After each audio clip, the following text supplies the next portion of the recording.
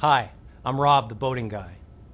Now that you've decided to get started in boating, there's a few things that you want to be sure to include in your financial planning. The basics you want to account for include the cost of your boat, storage in the off season, maintenance, fuel, and insurance. When it comes to financing, there are many lenders out there and several that specialize in serving the needs of boaters. They truly understand this area and they'll work with you to make sure that you get the best boat and the best financing for your needs. These days, you can find a starter boat with some accessories, safety gear, and a toy or two for as little as $200 a month. If you're buying a boat from a dealer, they can give you a helping hand with the loan process. Quite often, dealers will have a finance manager on staff who can handle the whole transaction, or they may have an outside loan service company that can arrange the details for you. They're there to help you navigate through the process, so be sure to use their expertise.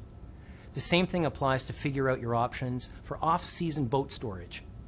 Ask your dealer about what the options are and choose what works for you.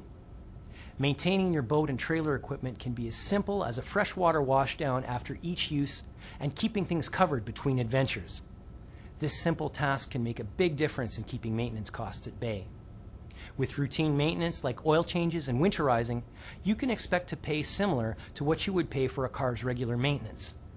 These days, when it comes to fuel, you want to make sure that the costs won't be more than you expect.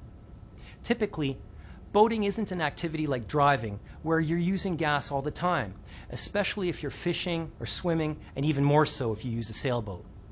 Most boats are under 21 feet, and 64% of all boaters say they buy less than the equivalent of three tanks of gas for an SUV or minivan for the entire season.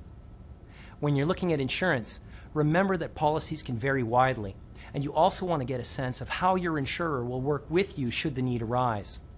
Talk to some boaters and get recommendations on a good marine insurance provider who will be your partner and work to tailor your coverage to fit your needs. For example, you may prefer a policy that covers you and your boating equipment for replacement or actual value, or provides you with so called cruising extensions if you want to travel and trailer your boat far from home. Regardless, you should consider buying a separate policy for your boat because homeowners' policies often place limits on marine related risks. For smooth sailing, be sure to include these key items in your plan.